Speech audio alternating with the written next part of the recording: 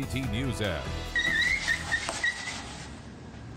Hauled away illegally. Now the man who did it is facing charges. That man is David Eason, the husband of MTV's Teen Mom Star 2, Jenelle Evans. He posted this video on YouTube, which shows him pulling a truck out of its parking space in downtown Wilmington in July. Now, the owner of that truck now pressing charges, saying the illegal tow damaged his transmission. WECT's Ben Smart has been following this story all day. Ben, first, Wilmington police said they weren't filing charges. Now they are filing charges.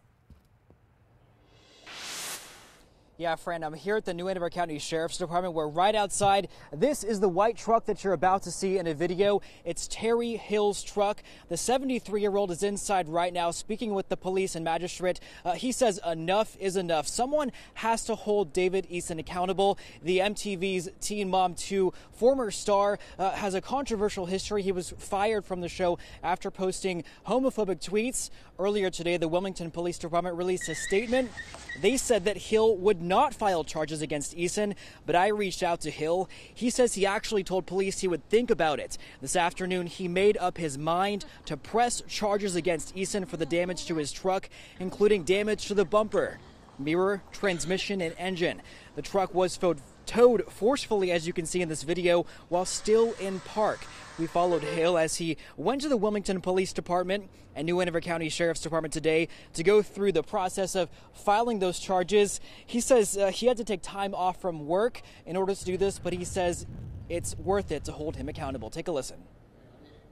Well, I went home last night and I was talking to my wife, and she says somebody has to stop this guy. All the views that we talked to on her computer people said, y'all need to press charges. You need to press charges. And so I decided I would. It's going to be worth it. And Hill again is inside right now with the magistrate and police officer working to fill out that paperwork to file charges.